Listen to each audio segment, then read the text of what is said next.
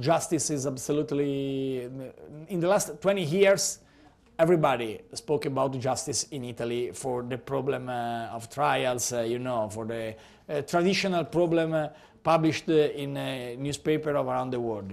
But the real vision for a new country is not discussed only about the problem of the past. Is explained very quickly and very simply. The timeline for a civil, Uh, uh, civil justice uh, must be uh, different. Now, UK, USA, France, and Germany have the first step of civil justice in one year. In Italy, 90, 43 days.